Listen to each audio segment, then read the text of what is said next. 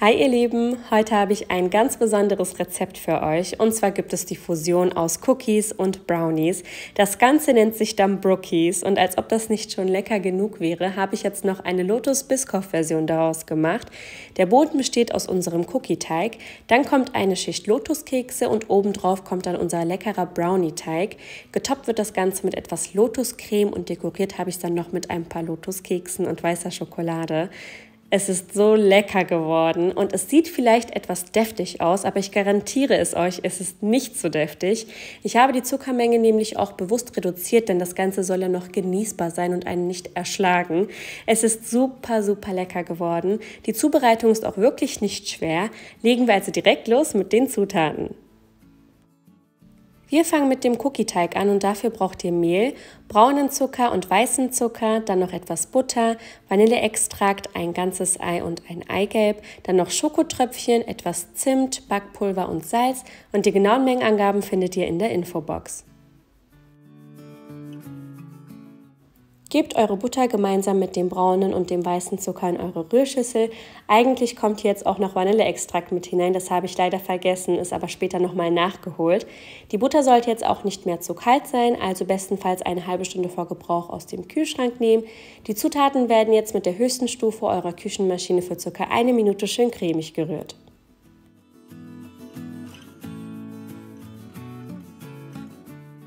Nach circa ein bis zwei Minuten haben sich die Zutaten gut miteinander vermengt und danach könnt ihr jetzt das Ei und das Eigelb mit hinzufügen und das wird dann auch nochmal für circa eine halbe bis eine Minute untergerührt.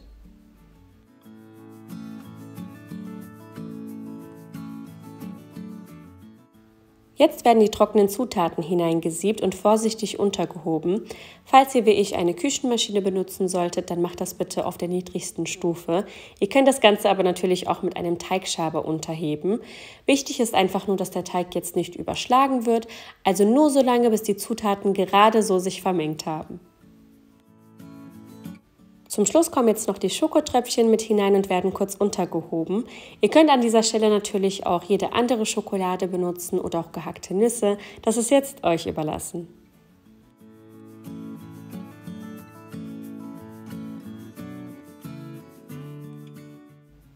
Ich habe eine rechteckige Springform benutzt und die genauen Maße schreibe ich euch gerne in die Infobox.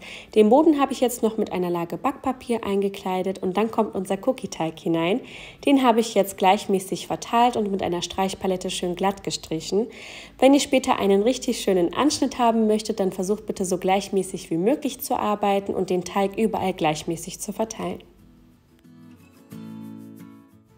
Wenn ihr den Teig gleichmäßig verteilt habt, kommt jetzt noch eine Schicht Lotuskekse darauf. Die habe ich jetzt so gleichmäßig wie möglich darüber verteilt. Und danach kommt eure Springform in den auf 170 Grad heiß oder Umluft vorgeheizten Backofen für ca. 10 Minuten. Der Cookie wird also leicht vorgebacken und in der Zwischenzeit könnt ihr dann auch euren Brownie-Teig zubereiten. Für den Brownie-Teig braucht ihr Mehl, braunen und weißen Zucker, Butter, Eier, Zartbitterschokolade und etwas Backkakao und Backpulver, zudem noch Vanilleextrakt und wer möchte, das ist jetzt kein Muss, kann noch einen Teelöffel löslichen Kaffee mit hinzugeben. Als erstes wird die Butter in einem Topf geschmolzen und danach fügt ihr Zartbutterschokolade und Backkakao mit hinein. Das Ganze wird so lange verrührt, bis die Schokolade sich vollständig aufgelöst hat. Ich habe noch einen Teelöffel Instant-Kaffee, also löslichen Kaffee mit hineingegeben. Das ist wie gesagt kein Muss, aber ihr müsst keine Angst haben, dass der Brownie später nach Kaffee schmeckt. Das tut er wirklich nicht. Durch den Kaffee wird jetzt einfach nur der Schokoladengeschmack hervorgehoben. Während die Schoko-Butter-Mischung ein wenig abkühlt, geht es direkt weiter mit unserem Teig. Hierfür gebt ihr den Zucker gemeinsam mit Vanilleextrakt und den Eiern in eure Rührschüssel und das Ganze schlagt jetzt mit der höchsten Stufe eures Mixers oder eures Küchengerätes für ca. 1 bis 2 Minuten schön schaumig. Wenn eure Eizuckermasse schön hell cremig geworden ist, schaltet ihr die Geschwindigkeit eurer Küchenmaschine oder eures Mixers auf niedrigste Stufe und danach kippt ihr vorsichtig die Schokosauce mit hinein. Wenn ihr die Zutaten miteinander verrührt habt, dann könnt ihr eure Küchenmaschine ausschalten, die brauchen wir nämlich nicht mehr. Zum Schluss kommen jetzt noch die trockenen Zutaten mit hinein und die werden genauso wie bei dem Cookie-Teig vorher durchgesiebt.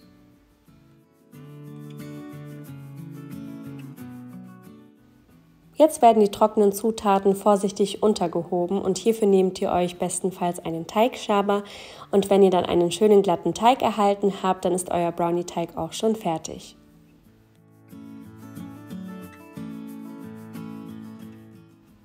Der Cookie-Teig wurde jetzt für ca. 10 Minuten vorgebacken und jetzt kommt natürlich noch der Brownie-Teig.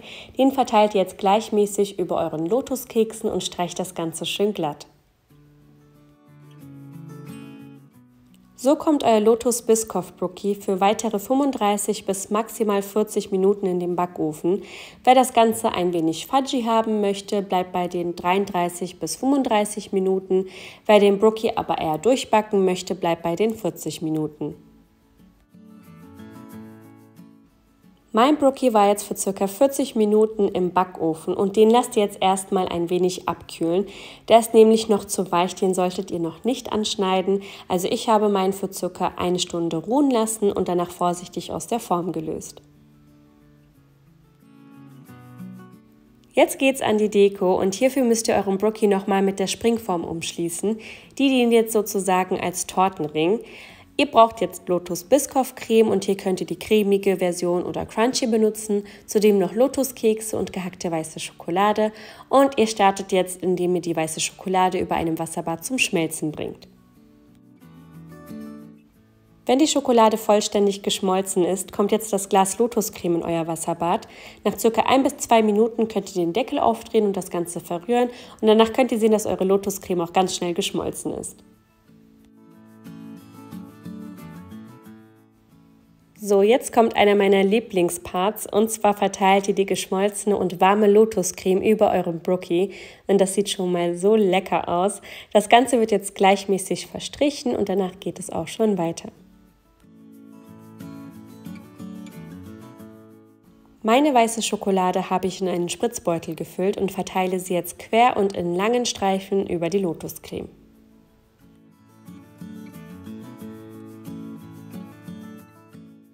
Jetzt kreieren wir noch ein richtig tolles Muster und hierfür nehmt ihr euch einen Schaschlikspieß oder einen Zahnstocher und zieht damit feine Linien und das macht ihr dann auch immer in der entgegengesetzten Richtung, also einmal von oben nach unten und im nächsten Schritt von unten nach oben. Ganz zum Schluss habe ich oben drauf jetzt noch ein paar ganze und ein paar angebrochene Lotuskekse verteilt und jetzt muss euer Brookie nur noch so lange auskühlen, bis die Lotuscreme wieder schön fest geworden ist. Meine Creme ist wieder fest geworden und jetzt müssen wir natürlich noch die Springform entfernen. Hierfür bin ich mit einem Messer vorsichtig an den Rändern entlang gefahren und danach hat sich die Form auch problemlos lösen lassen. Das ist der Grund, warum ich die Springform schon vor dem Dekorieren einmal komplett von dem Brookie gelöst hatte, damit jetzt die Prozedur nochmal vereinfacht wird.